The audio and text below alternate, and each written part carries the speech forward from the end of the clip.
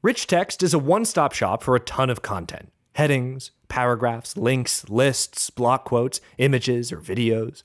Often, we want super precise control over each and every element in class.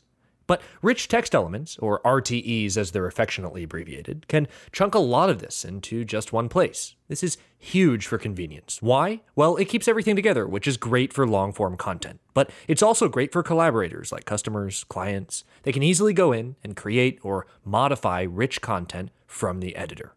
Let's cover three different pieces to rich text elements adding content, styling content, the basic route, and styling content, the super custom route. Because these two don't work without content, let's start there. Here's a blog post. We know that because right at the top it says blog post. Over in the Elements panel, we can drag a rich text element right into our project. Just like other text elements, we can double click to mess with the content. At any time, we can hit enter to reveal a plus icon. Let's press it. And from here, we can add other media like images or videos. Let's start typing a new line of text. Let's make this a heading. And we can select any text element inside our rich text element and designate it a heading or a block quote or anything else. Like we said, let's make this one a heading. That's adding content. Let's style the content. Styling rich text elements, abbreviated RTE, can be a bit different from styling other individual elements. This is because we have no idea what a collaborator might put in this field, and that's okay. There's a solution for this. We can select any of our elements inside the rich text elements and go right on over to the elements tag. Once that's selected, we can make any number of style changes, and it'll affect the tags throughout the project, inside or outside of a rich text element. So if we go somewhere else in the project, somewhere far away, and we drag in a rich text element, and that element has the same kind of element we just styled the tag for, it's already there. In fact, we can drag in a standalone element, a non rich text element, and it'll have the same defaults for that tag we just styled. That's the basic route for styling content.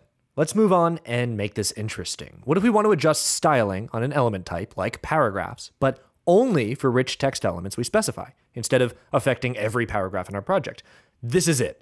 Once we add a class to a rich text element, we can select any of the paragraphs. This works for any type of element inside a rich text element, and select the tag. Now, if we make changes here, it'll be just like a few moments ago in that they'll affect paragraphs everywhere. But let's press nest selector inside of rich text class. That's the class we just created. Now, any changes we make to the paragraph style as we go in and make these changes, they'll only affect paragraphs inside rich text elements with our new rich text class applied. Let's test that out. We'll go elsewhere and we'll drag onto the canvas a rich text element. This is still using the default paragraph styling for our project. But if we select the rich text element and we go in and add our class, we can see that doing that now implements the all paragraphs tag we styled. That tag is nested inside our rich text class.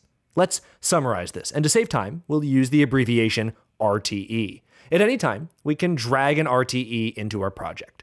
As we already know, tags can be styled for many element types throughout a project, whether or not they're in an RTE. But if we add a class to an RTE and we go to style tags for any of the elements inside, we have the option of going in and styling that tag independently. So it only affects those element types when they're nested inside an RTE that has the class we just created. So, rich text elements, super powerful for long form content Sometimes we abbreviate using RTE.